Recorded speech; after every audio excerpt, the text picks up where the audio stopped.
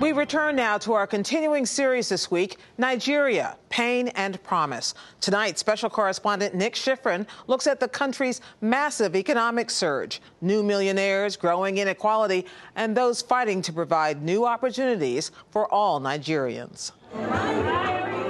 In Africa today, for the young, the hip, the rich, there's no better place than Lagos. Nigeria is just the place to be right now in the developing world. Tola Adabgo designs handbags for Florian London. Increasingly, her market is in Lagos. This is the world's fastest growing megacity. Any international business, don't be shy of Africa. There's no Boko Haram anywhere, especially not in Lagos. This is a nation of superlatives, Africa's largest population, richest country, and fastest growing economy. I'm very sure that this will be the main hub in Africa when it comes to the luxury goods in near future. Straight it's from Germany. Straight from Germany. Anurag Shah sells Porsches that cost 600 times the average Nigerian's annual salary. The ultra-rich are growing at a higher percentage here than in the U.S. We have luxury yachts, you have luxury aircraft, you have luxury wristwatches. Every luxury business in Nigeria currently is booming. It's not only the rich. Between now and 2030, the middle class will grow by a factor of eight. Their spending power has made Nigeria the world's largest consumer of Guinness beer. This is what they drink. This Guinness Monster. That's what I like. Lagos here, you can see many, many things. This is where you can get what you want. I love Lagos very well. Half the country is under 30. Smart young Nigerians have more money, and they're starting their own businesses. These guys are entering the job market. And so if you don't cater for these guys, there's going to be insecurity for everyone everywhere in the world. Tony Elumelu is one of Africa's richest men. He's trying to build the middle class by investing 100 million of his 700 million dollar net worth in 10,000 young entrepreneurs. The right sustainable way to to intervene in Africa for economic development, for, for, for inclusive development, is to invest. When I started initially, I did um, a free wash, so people were actually attracted to the place. Isaduwa Agboneni is one of Elumelu's first entrepreneurs. She calls herself Nene, as in the founder and lead mechanic of Nene's Auto Care. I was among the best five in class. I was like, wow, if I can do well among the guys. So let me give it a try. Nene's invested $50,000 of her own money. Tony Elumelu's money bought an engine lift and will convert this hole into a proper mechanics pit. It will make her team faster and allow her to hire more people. Doing this type of thing is still going to help the unemployment rate in Lagos. My name is Titus okay. Igwe. Mm -hmm. My name is Tobias okay. Igwe. We are the Igwe twins. Titus and Tobias Igwe are also Elumelu entrepreneurs. Five years ago, the twins were mopping floors when their father died suddenly. They taught themselves how to cook. It was a means of survival. We're doing it because we want to survive. Because there was hunger, hunger is imminent, and there's no way help will come. Today, they run Speed Meals Mobile Kitchen. Within a year, they hope to cook and cater for a thousand people a day. The most important part of the uh, part that we love most, some mounts are hungry. Let's go feed them. On this day, they give away packaged lunches to prospective clients, and they feed about 100 churchgoers. They are always smiling and always dreaming. Elumelu's $10,000 rented this new office space. We're going to have computers in all the rooms. We are going to the moon with this place. That's exactly what it means. Yes. The twins use their rags to riches story to motivate and mentor younger entrepreneurs. We intend to use this story to encourage and inspire the next generation. If the twins can actually make it in this harsh economy, in this same bad condition I find myself, who am I? what is then my excuse? And that's when the mentees sound like the mentor. Because your success is not only success for you and your family, is success for Africa. And that is the only way Africa can grow. When young businesses and entrepreneurs begin to support other entrepreneurs, let the growth be a chain reaction. If you succeed in employing 100 people, 1,000 people, you're playing your own part. If the fewer level of poverty, abject poverty we have, the better for everyone. But that poverty is still everywhere, and the wealth gap here is among the world's largest. In elite neighborhoods, tuk tuk taxis weave between mansions and share the road with luxury Mercedes SUVs. The rich build houses that literally look down on the poor who are getting poorer.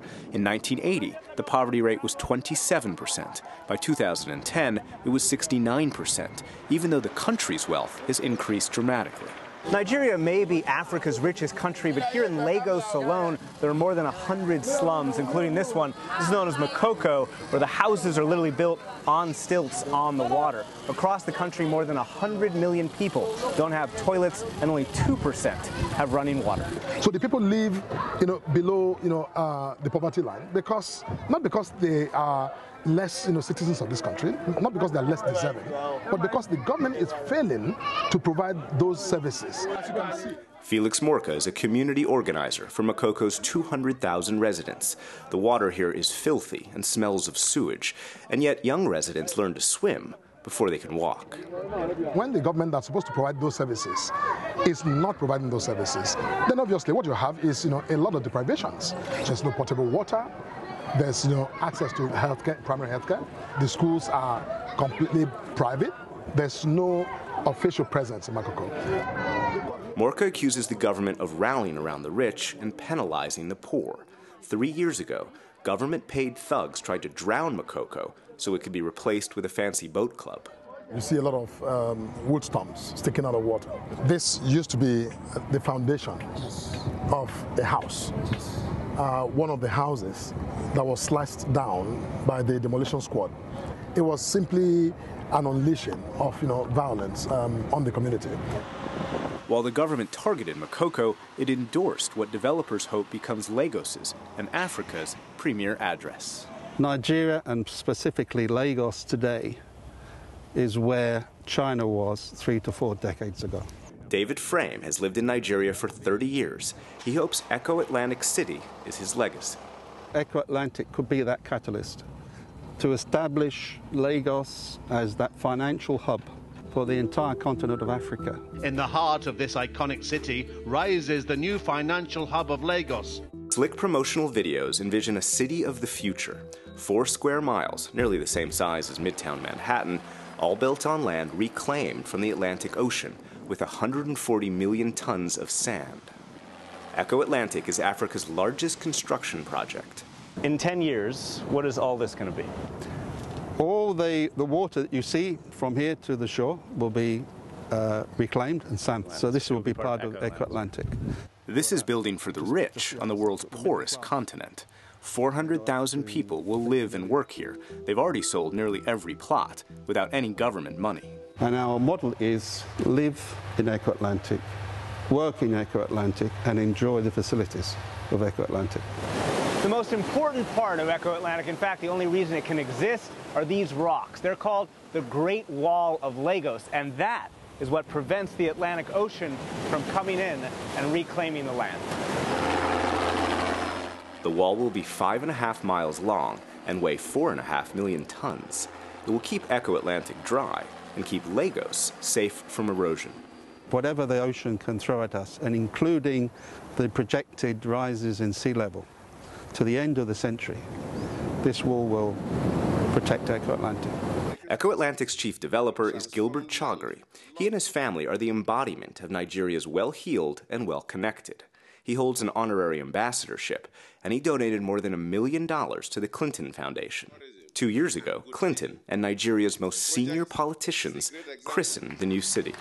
They have reclaimed 5 million square meters of land from the sea. This is something I'm telling you, there will be countless numbers of people coming here to study. The construction is not without controversy.